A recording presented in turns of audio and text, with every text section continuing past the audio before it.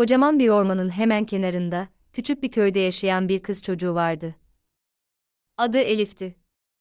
Elif, parlayan kahverengi gözleri, altın sarısı saçları ve içten gülümsemesiyle herkesin beğenisini kazanan güzel bir kızdı. Ancak onun gerçek güzelliği, içtenlik dolu kalbi ve yardımseverliğiyle tanınıyordu. Elif yalnızca güzellikle değil, aynı zamanda etrafına saçtığı sıcaklık ve yardımseverlikle de güzel bir insandı. Günlerini genellikle başkalarına yardım ederek geçirirdi.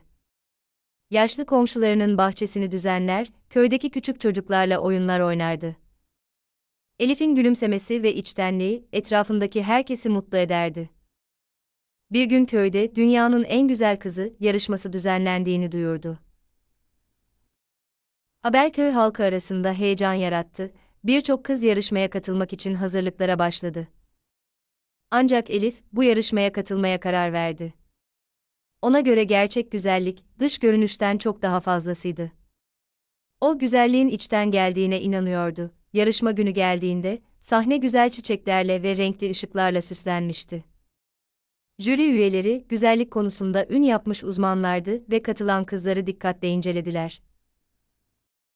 Ancak jüri üyeleri dolaştıkları sırada farklı bir şey fark etti. Bütün kızlar güzeldi ama Elif özel bir güzellikle parlıyordu. Bu güzelliği göz ardı etmek neredeyse imkansızdı. Elif sırası geldiğinde ileri adım attı ve şunları söyledi. Güzellik sadece aynada gördüğümüz dış görünüşle ilgili değil. Gerçek güzellik, başkalarına nasıl davrandığımızdan, sevgimizi nasıl paylaştığımızdan ve ihtiyaç sahiplerine nasıl yardım ettiğimizden gelir. Kalbimizin içtenliğiyle ilgilidir. Köylüler, Elif'in duygusal sözlerinden etkilenerek alkışladılar.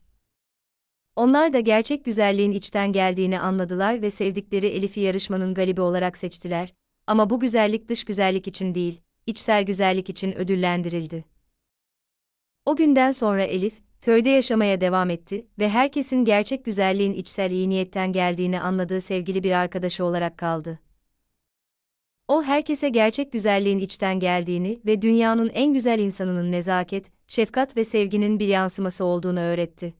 Ve böylece dünyanın en güzel kızı hikayesi, gerçek güzelliğin içsel iyilikle ilgili olduğunu hatırlatan köyde unutulmaz bir hikaye haline geldi.